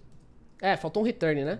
Então a her, return, e ele vai retornar sempre um transform string. Por quê? Porque alguém vai ouvir os valores depois que ele terminar. Então ele não é uma fonte de dados, mas ele fica ali no intermédio. Então new transform string vai ser em quem? Aí, olha que legal, agora a gente vai usar os dois. Então é o seguinte, eu vou usar o transform para toda vez que alguém mandar um valor para ele, certo? Ele só passar direto. Então só vou dar um controller.enqueue. É como se fosse um filtro, né? Ou seja, tá entrando aqui, eu tô segurando o botão do mouse, eu tô no move aqui, cara, ele vai passar pelo take until e o take until tem que mandar para frente. Ou seja, vai cair lá no nosso outro map. Vou até quebrar a linha aqui para ficar mais bonitinho, ó. Então já vai cair lá no outro map, beleza? Mas dado que algum desses eventos aconteceu uma vez, o que, que ele vai fazer? Aí ele tem que parar, beleza? Então vamos lá ver como que a gente vai fazer isso. Então salva aí, salva lá. Já tem o transform e aí eu falei para você do momento da inicialização. Então o que, que eu vou fazer? Na inicialização da readable string, né, na hora que ele está produzindo os dados, a gente vai fazer o quê? A gente vai validar se a gente tem os dados corretos para executar. Então coloca uma vírgula. Vou criar aqui então const read and terminate para a gente parar o processo. Então vai ser o async, vai ser o string, o controller, e aí a gente move esse cara daqui para cá. Então a gente vai ler ele, vai, vai obter o nosso reader e vai obter o valor dele uma única vez. Então vai ser reader.read e vai ser o velho. E aí, ó, olha que bacana que eu posso fazer. Eu posso falar pro controller para ele entregar o valor, certo? Então ele entrega o valor que ele recebeu. Por quê? Porque ele precisa saber qual foi a última, a última transação, né? o último valor que entrou. Ele responde para quem pediu e em seguida ele mata. Olha que legal. Então dá um terminator, né, mano? Terminate aí para ele matar o processo. Então a gente já chama esse terminate aqui e passa a string e passa o controller. Certo? É, a string não precisaria porque ela já tá vindo daqui, né? Já tá vindo aqui de cima, talvez. Beleza, é sempre bom passar ele assim, porque ele sabe qual é o contexto de cada, para ele não ficar conflitando o nome de variável. E aí, será que vai funcionar? Vamos ver. Salvei, pipe true ainda não é uma função, significa que ele não retornou certo esse cara, né? Take until, take until tá certo. Ó, esse pairwise aqui, na verdade, mano, só pra gente não esquecer, né? Ele é daqui, ó. E aí a gente põe esse pipe through para baixo, de repente.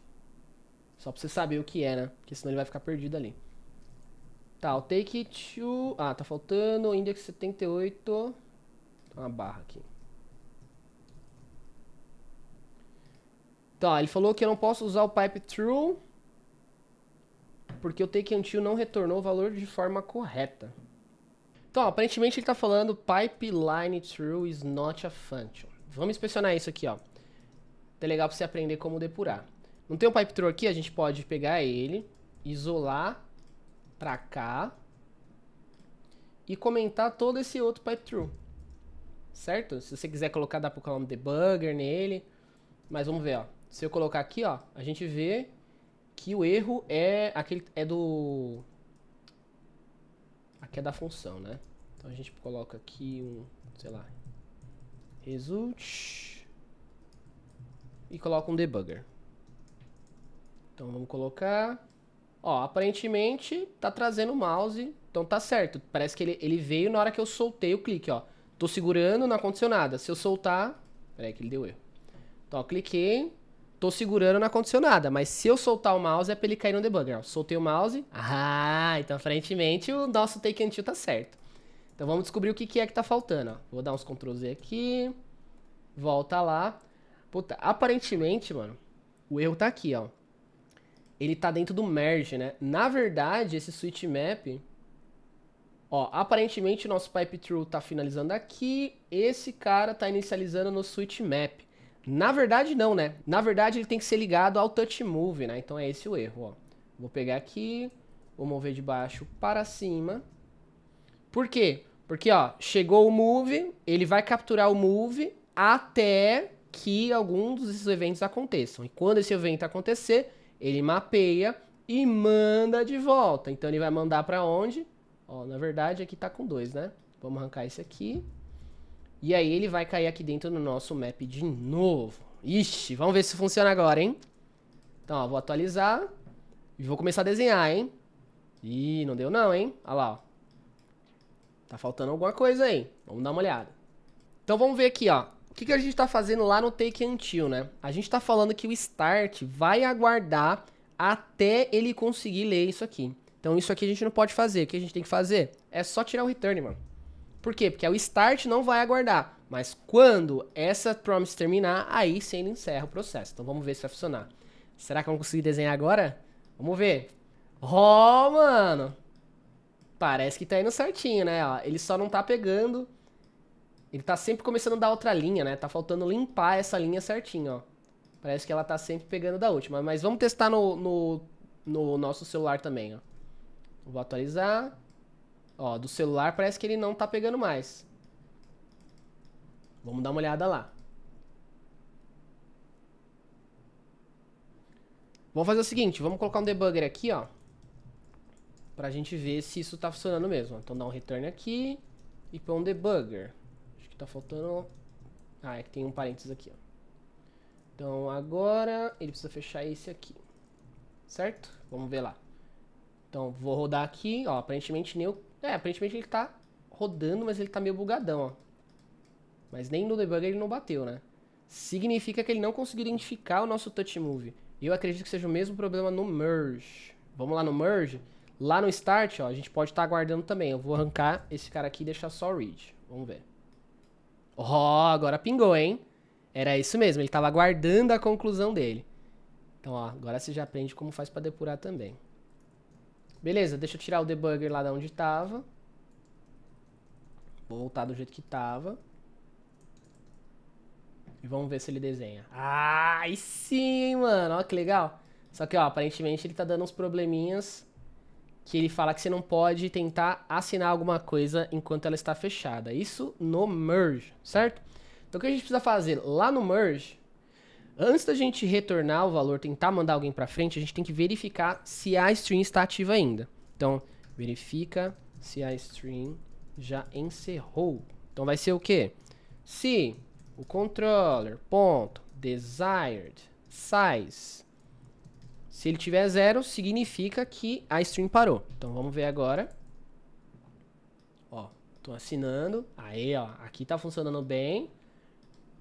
E aqui, Aqui continua funcionando. Beleza, falta só colocar a linha para iniciar do lugar certo, né? Só isso que tá faltando. Então, ó, o que, que a gente precisa fazer? Agora, a gente precisa falar também qual que é o evento para esse last position recebê-lo, né? Então, aqui, ó, vai ser o quê? Se o mouse move, ponto type, né? Ele retorna lá o tipo dele. Se o tipo dele é o nosso mouse events, ponto, up, então a gente vai deixar ele como null, porque a gente sabe que na próxima interação a gente tem que começar do zero. Se não, é o nosso mouse move. Opa, inverti tudo, né?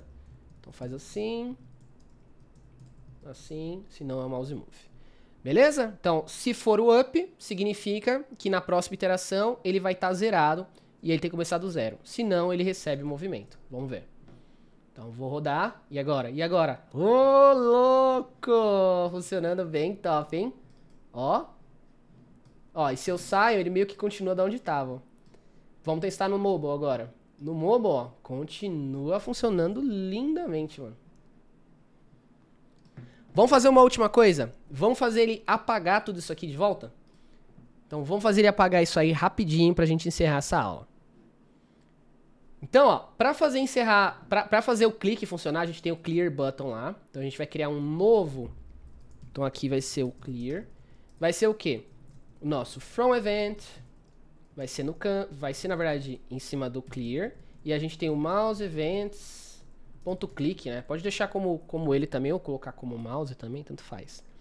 Agora, é, é, agora vai ser um processo mais simples, né? Agora que a gente tem o clique, a gente não vai usar nada dele. Então a gente já pode usar o pipe to, downwritable string, write, a gente recebe aquele chunk. Pra quê? Pra gente pintar na tela. Só que pra gente pintar na tela, a gente tem que ter guardado esses dados aqui, né? Então vamos criar aqui um objetinho Aqui eu vou chamar ele de const store, que vai ser o quê? O db, que vai ser um objeto vazio, vai ser um get, que vai retornar ele, um set, que vai setar os valores, certo? Então aqui vai ser o item. Só que agora o que, que vai ser? Como ele é um array, eu vou inserir no banco, certo?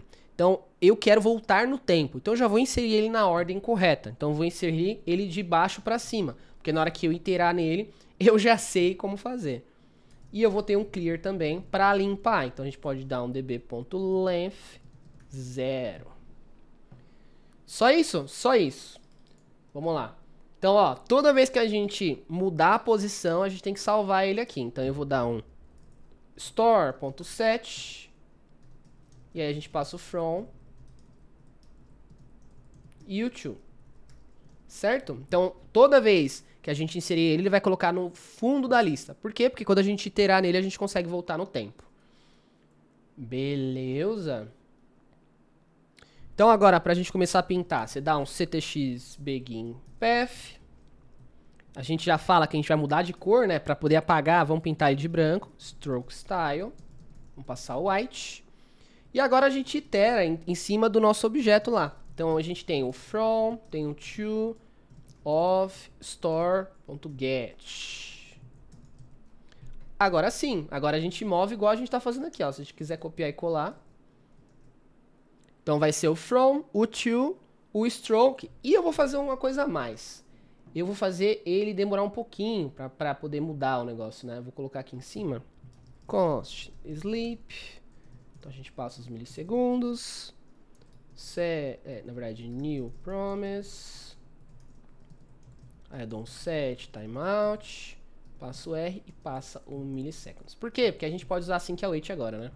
Então eu vou colocar await, sleep e vou colocar 5 segundos. Ah, ele tá reclamando que tem o async, certo? Então coloca o async aqui em cima que, que a gente espera que agora aconteça? Bom, conforme a gente vai desenhando na tela, ele vai guardando dentro da nossa store.